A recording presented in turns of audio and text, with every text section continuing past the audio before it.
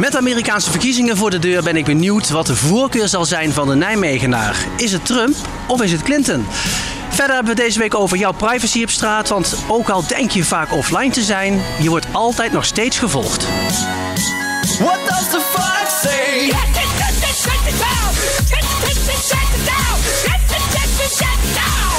What the fuck say?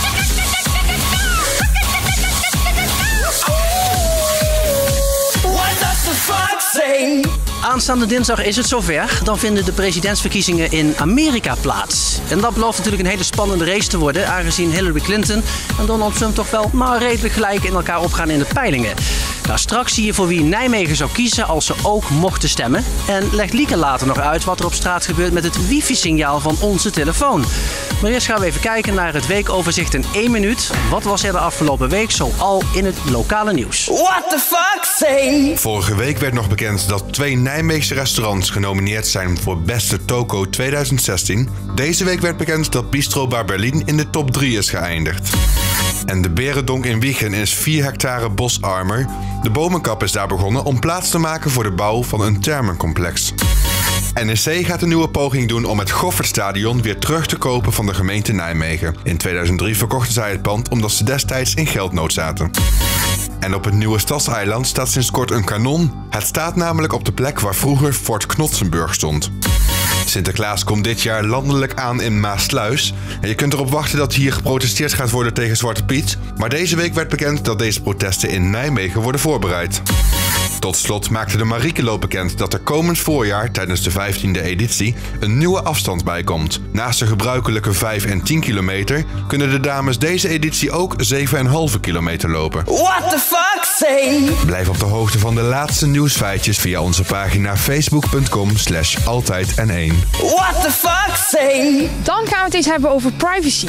Iedereen kent inmiddels het begrip cookies wel bij het surfen op het internet. Wanneer je één keer hebt gezocht naar een hotelkamer in Parijs, krijg je vervolgens tientallen advertenties te zien voor hotels in Frankrijk. Maar deze techniek gaat verder. Ook als je denkt dat je offline bent. Dit zit gewoon in onze telefoon. Steeds meer bedrijven maken namelijk gebruik van wifi-tracking. De meeste mensen hebben wel een smartphone en veel van hun hebben hun wifi-signaal altijd aanstaan, zodat je telefoon met bekende netwerken, bijvoorbeeld thuis of op het werk, direct contact maakt. Maar zodra je telefoon niet meer met een netwerk is verbonden, zal hij naar nieuwe netwerken in de omgeving blijven zoeken. Bedrijven maken hier gebruik van door jouw locatie in kaart te brengen en te zien bij welke winkels en producten jouw interesse liggen. Met deze informatie kunnen zij vervolgens persoonlijkere advertenties aanbieden. Er wordt momenteel zelfs al gewerkt aan billboards die op straat een persoonlijke advertentie laten zien aan de persoon die daar langs loopt. Simpelweg doordat één sensor in het bord contact maakt met je telefoon. Dit kan natuurlijk leuk en handig zijn, maar het eist wel veel van onze privacy. En willen we dit wel? Je kunt dit natuurlijk simpel voorkomen door je wifi en bluetooth signalen uit te zetten, maar dat vraagt telkens weer om een extra handeling als je van huis gaat of terugkomt. Hoe denkt Nijmegen hierover? Zijn we ons eigenlijk wel bewust van deze wifi tracking en gaan we ons hierop aanpassen? What the fuck say? Heb je altijd je wifi aanstaan? Ja, ik heb eh, wel altijd mijn wifi aanstaan, want ik ga heel snel over mijn data heen. Je gaat snel over je data heen. Ja, en dat kost geld. Het kost zeker geld. Ja. Heb u uw wifi aanstaan? Ja, Ja. ja zet ik nooit uit eigenlijk. U zet hem nooit uit? Nee. Nee, oké. Als je ergens op klikt, dat wordt geregistreerd. Ja. En bedrijven kunnen bieden op waar je op klikt. Dus als ik bijvoorbeeld eh, twee dagen in de week naar schoenen kijk, dan kunnen bedrijven. Als ik een pagina aanklik, kunnen bedrijven bieden. Gebeurt allemaal online. Die bieden een paar centen. En eh, zeg maar, degene die wint, die komt dan op advertentie op de site die ik opklik. Die ik aanklik. Maakt niet uit, al klik ik Google aan, dan krijg ik advertenties van dat bedrijf die het hoogste bod heeft. Aha, Aha. dat wist ik niet. En Het, het valt mij wel op als ik ergens naartoe ga, ja. dat hij dan meteen weet waar ik ben. Ja, ik heb waar was het ook weer? Google Maps. Dan weet hij ook Hij weet van... precies. Ja, dat klopt. Zeg maar, ik snap wel het punt dat het heel persoonlijk wordt, maar ik vind het ook wel weer chill. want Misschien wil ik die jurk wel. ja. Ja, eerlijk gezegd, ik vind het niet erg. Ik vind het best wel handig. Want ja, als ik toch naar schoenen aan het kijken ben en er komt een goede advertentie voorbij, ja, dan Ja. klik je er wel op. Makkelijk zoeken, ja. ja. Precies, ik vind het alleen maar eigenlijk wel handig. Ja, dubbel. Kan wel eens handig zijn, omdat er heus als een keer iets zou bij zitten waar je denkt, eh, daar heb ik wat aan. Maar ja, op heel veel zit ik niet te wachten. Wat vindt u daar nou van? Nee, dat, dat, dat kan niet, vind ik. Dat moet niet kunnen. Nee. Nee, dus En- ik ga hem uitzetten dadelijk. U gaat hem uitzetten, ja. Ik vind het confronterend dat ik elke keer, ehm, nu ik 25 ben, zwangerschaps- en babyadvertenties krijg. Oh jee, oh jee. Wat, wat zegt dat? Dat de maatschappij mij drukt in zijn moederschap. Ja, begint het te kriebelen? Een beetje, een beetje. Weet je. Wat vindt u daarvan? Dat vind ik eh, ja, niet nodig. Vind ik ook een beetje inbreuk op de privacy. Ja, tegenwoordig hebben we zo weinig privacy dat zeg maar, je kan het wel tegengaan. Maar dan leef je toch in die maatschappij dat we er zo diep al in zitten dat je er gewoon bijna niet meer uit kan. Dus ik heb het een soort van geaccepteerd. Ja. Ik vind het wel heftig dat ik moet opletten wat ik op WhatsApp zeg, omdat het misschien ergens anders komt. Dat vind ik heftig. Ja.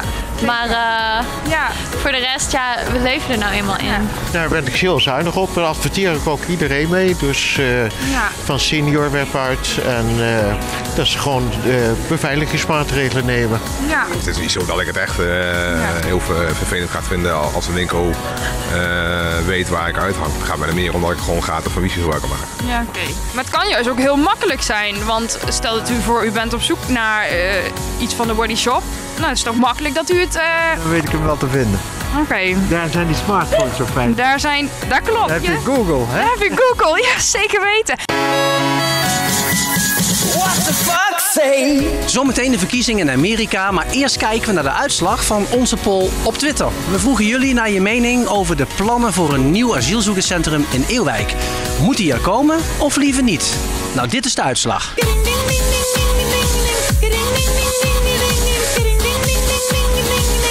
What the fuck say?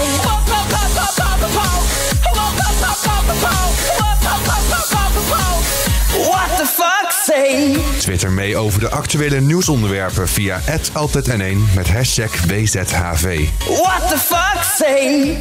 President Obama will go down as perhaps the worst president in the history of the United States! Exclamation point at real Donald Trump. well, at real Donald Trump. At least I will go down as a president. De ene is een racist en misbruikt de vrouwen. En van de ander wordt allerlei e-mailverkeer onderzocht door de FBI. Toch zal waarschijnlijk één van hen over een paar dagen benoemd worden tot de nieuwe president van de Verenigde Staten. In een aantal staten staat Trump aan kop en in een aantal andere staten leidt Clinton. Maar hoe zit het in Nijmegen? Het doet er eigenlijk natuurlijk helemaal niet toe wie hier in onze stad het meest geliefd is. Maar de meeste mensen hebben er wel een mening over. Dus kom maar op. Is het Trump of Clinton? What the fuck say? We zitten lekker hier in Nijmegen in de stad. En wat zegt het volk, willen we weten. Wat komende dinsdag de verkiezingen zijn natuurlijk tussen Clinton en tussen Trump. En jij hebt daar vast wel een mening over. Nou ja, ik heb er eigenlijk niet echt heel erg een mening over. Maar ik heb het gewoon helemaal niet gevolgd. Maar Maar je volgt toch wel een beetje het nieuws. je, vol- je hoort de schandalen. een klein beetje. Maar ehm, ja, Wat mag het gaan worden? Als jij zou moeten kiezen. Clinton. En waarom dan toch Clinton? Omdat die, eh, die Trump, die, ja, die, die praat alleen maar onzin volgens mij. Tenminste, ja, je hoort natuurlijk alleen maar in het nieuws... Tenminste, ik heb alleen maar de slechte dingen over hem gehoord, zeg maar. Ja, misschien zijn er alleen maar slechte dingen. Ja, dat weet ik niet, want zo heb ik het niet gevolgd. Hey, volgende week dinsdag gaat het gebeuren. Wist je dat al? Wat? De Amerikaanse verkiezingen. Oh ja, dat weet ik. Ja, hè? Ja, leuk. Volgende week dinsdag is de grote dag, hè? Ik heb geen idee. De verkiezingen. Oh, Amerika. is dat zo? Oh, ja, ja. Volg je het een beetje? Nou, een beetje. Wie mag het worden? Geef hem beide. De verkiezingen in Amerika? Oh, dat is helemaal niks. Nee? Wa- waarom, waarom, is het, waarom is het niks dan? Omdat er bij helemaal niks zijn. Ja, wij lopen een op straat en wij willen weten, wat zegt het volk? Wat is jullie mening daarover? Wie wordt het? Ja, voor mij eh, Clinton hoor. Waarom? Ja, weet ik niet. Ik, het was Ah, gevoelsmatig. Ja, maar ook eh, beetje ik vind- sociale... ja, sociale eh, ja, uitlatingen van, van de Er komt wat Trump. sociale over, zeg maar. Ja, inderdaad, ja. En die uitlating van, van de Trump, dat eh, bevalt me helemaal Maar niet. Clinton is ook niet helemaal zuiver. Nee, oké, nee, maar dat maar- is ook maar allemaal ja, nog goed, eh, uit te zoeken natuurlijk. Dat is nog allemaal niet Ja, niet bewezen. hè? zuiver binnen de politiek tegenwoordig. Ik bedoel... eh, Nee, dat is misschien wel waar. Maar goed, jullie zeggen heel duidelijk, Clinton gaat het gewoon worden, wat jullie Ja. betreft. Wat denk je, wie gaat er winnen? Trump? Ja, Clinton? ik denk het wel. Ik denk dat Trump gaat winnen. Maar bij- voor wie ben jij? Eh, voor geen van beide eigenlijk. Nee, waarom niet? Ja, ik vind het allebei een beetje apart. Wat, wat denk je wat het gaat worden? Eén van de twee gaat winnen. Wie mag er winnen, volgens jou? Hillary Clinton is beter, ja. Ja, dat is vragen of je oorlog met Rusland wilt of een wereldoorlog. Ik zou daar niet tussen kunnen kiezen. Nee, dat is een hele goede opmerking wat je daar plaatst. Want iedereen heeft er ook geen vertrouwen in, hè? Zelfs Obama heeft er geen vertrouwen in. Dus ik weet niet hoe het volk daar vertrouwen in moet hebben. Maar wat denk je wat het volk gaat kiezen? Een beetje voor de iets betere of juist voor de hele slechte? Geen van beide is goed. Dus ik denk dat het waarschijnlijk de oorlog tegen Rusland zou worden. Dus Hillary. En, eh, en de dames hier naast mij. Hi. Hi. Hebben jullie het een beetje gevolgd, het nieuws? Nee. Ik niet? Nee, Helemaal niet. Ja, op de radio komt het Ja. wel eens voorbij, maar... Maar wat vind je van Trump? Een kneus. Een kneus. Ja. Misschien nog zachtjes uitgedrukt, toch? Ja. Ja. Van wat je hoort dan. Van wat je hoort. Wat hoor je dan zoal? Ja, wat hoor je dan zoal? Ding? Ja. eh dingen Ja, ja, precies. Dingen met vrouwen, dat hij niet zo heel lief is geweest. Ja, en ik hoor ook wel eens verhalen dat als hij het zou winnen, dat hij... eh, dat er dan eh, een, een hel los gaat barsten en zo. Ja, dat hoeft kan niet. Ehm, ik zou voor Clinton kiezen. Daar heb je ook een reden voor. Eh, ik zou in elk geval niet voor, voor Trump kiezen, dus ja, dan blijft er maar één over. Ja, wat Trump heeft, slechte, Ja, slechtste daar in je ogen. Ehm, nou, ik vind zijn idee gewoon niet zo goed.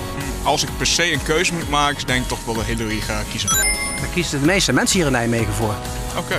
Misschien wel toch door haar uitstraling. Wellicht, maar meer heb ik het idee van dat eh, Trump niet echt een, eh, een, naar mijn mening, een echte president zou moeten zijn. Ja, ook allebei liever niet. Ze allebei niet echt... eh, Maar als jullie moeten kiezen, dan wordt het Clinton. Ja, zeker. Je weet waar, waar het over gaat? Waar ik naar doe? Niet echt. Hillary Clinton en... Donald Trump, oh. Ja, ja. Daar hebben jullie vast een mening over. Nou, niet echt. Ik hoop wel Clinton. Jij toch wel, waarom? Ja, gewoon wat die Trump allemaal zegt over vrouwen ben ik het totaal niet mee eens. er Misschien komt het ook wel omdat ik zelf een vrouw ben hoor, dat weet ik niet. Er liggen ook aanklagen tegen Clinton, hè? Ja, maar daar hoor ik niet zoveel van. Daar hoor je wat minder van. Ja. Maar Clinton, doet zij alles goed? Nou, niet hè. Ook niet. Maar ja, als je moet kiezen uit twee... eh, Dan is het gewoon Clinton. Dan is het gewoon Clinton. Nou, in ieder geval een duidelijke mening. Wat zegt het volk? Wordt het Clinton? Wordt het Trump? Eh, ik denk eh, Hillary, Hillary Clinton. En waarom? Nou ja, ik heb niks met Trump. Nee. Nee, ik ben zo averechts.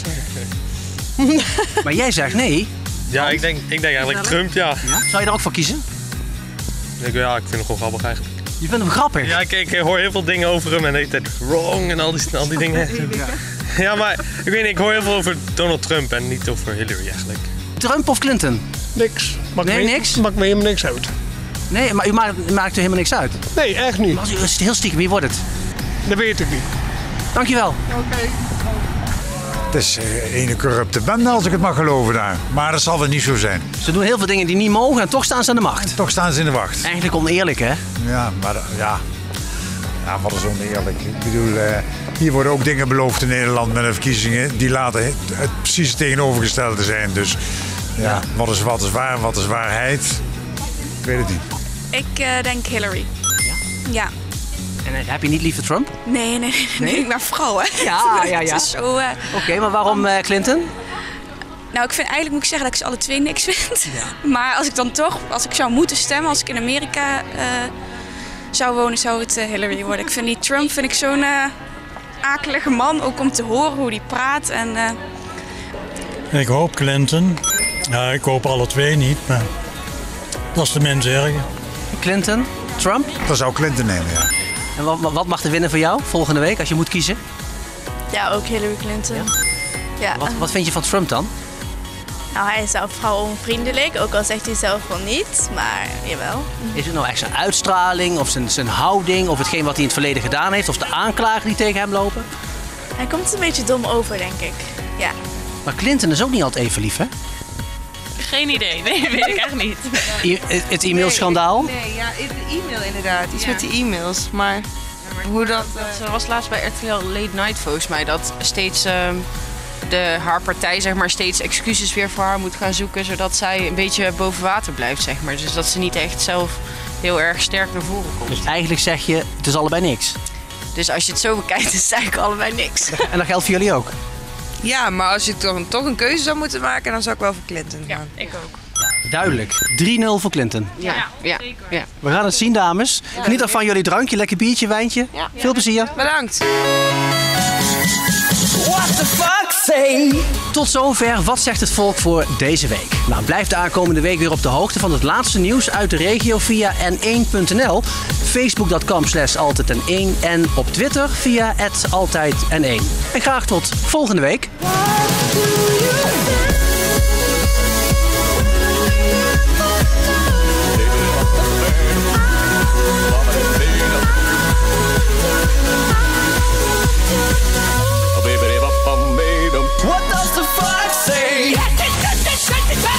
Je kijkt naar Wat zegt het volk? Wat zegt het volk? Wat zegt het volk? Aflevering gemist? Kijk op n1.nl. Dus dat zei het volk. What does the fox say?